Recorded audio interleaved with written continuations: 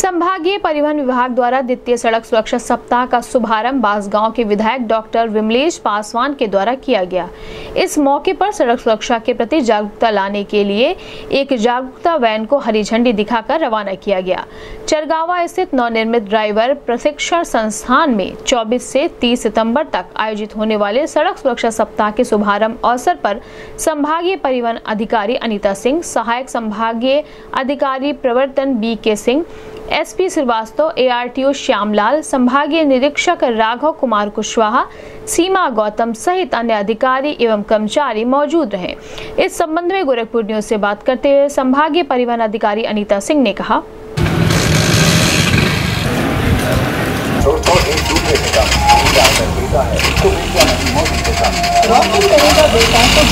तो नाच बजाकर चलती है बेटियाँ और जमानेदार सीमा पर गोला चौक चलाती है।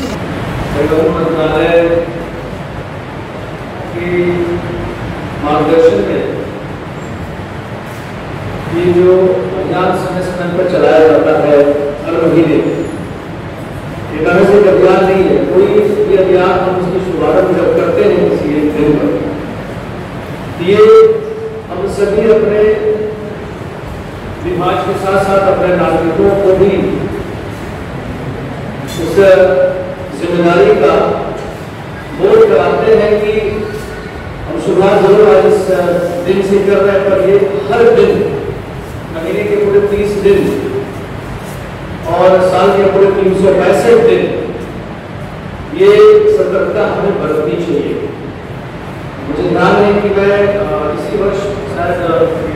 सर्दियों के महीने में दिसंबर में अ, जनवरी में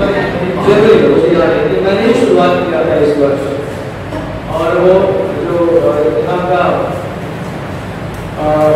आरटीओ ऑफ़िस है हम लोगों ने शुभारंभ किया था उसके बाद मुझे आगे अपने क्षेत्र में जाना था आपके कार्यालय में और आरटीओ मैडम ने और आपके विभाग के सभी अधिकारियों ने हमें अ, आमंत्रण के लिए निमंत्रित किया था। और एक अच्छा कार्यक्रम हम लोगों ने किया जिसमें काफ़ी संख्या में जो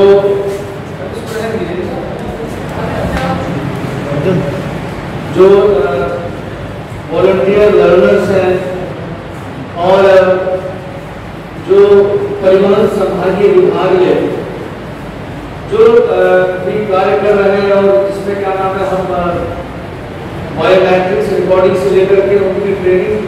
प्रशिक्षण के उपरांत जब हमको जो है सर्टिफिकेट देते हैं इनिशियली हम लोग प्रोविजनल देखते हैं, फिर बाद में हम जो है परमानेंट सर्टिफिकेट देते हैं ड्राइविंग लाइसेंस का। तो मैंने ये बोला था कि हमें जो है अपने प्रक्रिया में जो हम पैसे दे देते हैं, उसमें हमें सख्त रहना होगा, क्योंकि जो रोड ट्रैफ़िक एक्सीडेंट है, वो हर साल मतलब बढ़ती जा रही है। और उसका एक तरह से कारण ये भी है कि हम लोग जो है जो आवश्यक स्किल्स जो स्टेप्स इसमें देना अपनाना चाहिए उनको क्या नाम है स्क्रीन करने में कहीं ना कहीं उसको ध्यान है नहीं कर देते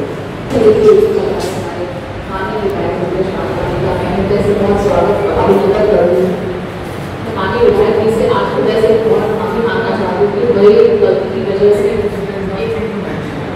अ, मैं अ, मुझे पता है सर आप बहुत टाइम भाग रहे हैं और आप हमें माफ़ करेंगे, सर। और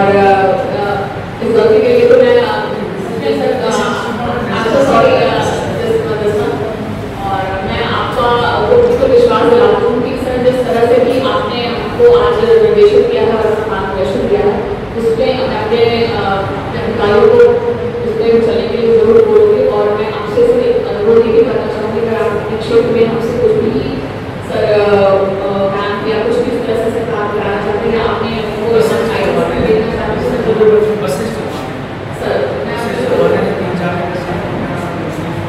सड़क पर बढ़ती हुई सड़क दुर्घटनाओं और मृतकों की संख्या जो नित प्रतिदिन बढ़ रही है उसको उसमें कमी लाने के लिए माननीय मुख्यमंत्री जी के द्वारा ये निर्देश दिए गए थे कि परिवहन विभाग समय समय पर सड़क सुरक्षा सप्ताह का आयोजन करके इस सड़क दुर्घटनाओं में कमी का कमी लाएँ। उसके उपलक्ष्य में हमारे परिवहन विभाग द्वारा द्वितीय सड़क सुरक्षा सप्ताह का आयोजन किया जा रहा है जो 24 अ, सितंबर से 30 सितंबर तक चलेगा। आज प्रथम दिवस में माननीय विधायक श्री विमरेश पासवान जी के द्वारा हमारे यहाँ का शुभा शुभारंभ हुआ है। उन्होंने यहाँ के प्रचार वाहन को हरी झंडी दिखाई है और ये प्रचार वाहन पूरे सप्ताह पूरे जनपद में मुख्य मुख्य चौराहों और मार्गों पे जाकर सड़क सुरक्षा के नियमों के प्रति जनता को जागरूक करेगा। आज यहाँ पे एक महिला ऑटो चालक श्री तारा देवी जी भी आई थी और वो एक ऑटो चला के अपने परिवार का भरण पोषण और जीवन यापन कर रही हैं और उनको आज हमारे माननीय विधायक जी ने अपने हाथों से उनका सम्मान भी किया और कभी भी उनको आवश्यकता पड़े ऐसा तो उनसे संपर्क भी कर सकती हैं, ऐसा उनको आश्वासन भी दिया। और उनको बहुत प्रेरित किया कि हाँ आप महिलाएँ भी इस क्षेत्र में आगे आके इसमें एक रोज़गार का अवसर प्रदान कर सकती हैं। माननीय विधायक जी ने और भी संदेश दिए कि आप अगर सड़क पर चल रहे हैं तो अपने और अपने प्रति किसी भी जानकार लोगों की गाड़ी लेकर खुद ना जाएँ, क्योंकि जब आप किसी की गाड़ी लेके जाते हैं तो आपके पास कागज़ नहीं होते हैं, जिससे सड़क सुरक्षा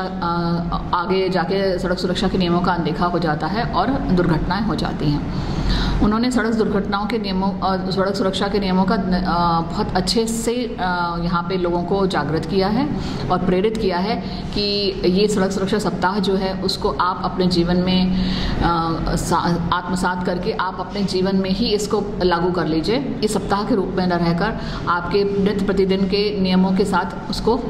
समावेशित कर लीजिए। बाकी लोगों को क्या संदेश देना चाहेंगे? मैं जनता से अपील करना चाहूँगी कि परिवहन विभाग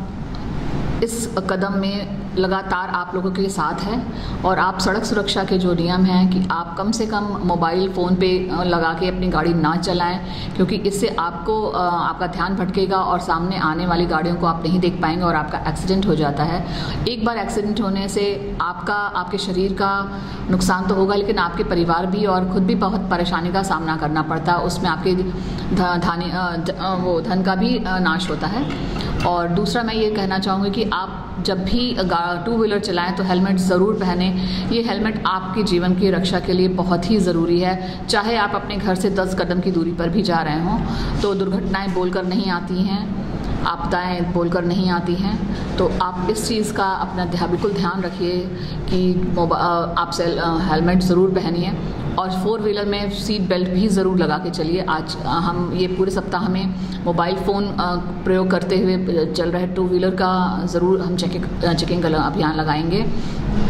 साथ में सीट बेल्ट और हेलमेट का भी अभियान लगाएँगे। इसमें बहुत विशेष ध्यान रहेगा, क्योंकि मैक्सिमम जो टू व्हीलर्स वाले हैं, अभी हेलमेट पे जागरूक नहीं हैं। उनको जागरूक करने के लिए हमारे प्रवर्तन अधिकारी और हमारे विभाग के अधिकारी बिल्कुल प्रयासरत रहेंगे कि आप लोगों को समय समय पर इसका हम सचेत भी करते रहें और आपको कार्रवाई करके जागरूक भी करते रहें।